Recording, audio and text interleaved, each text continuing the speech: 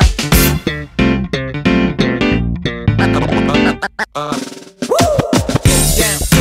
to be. Forget your cares, it's normal, definitely.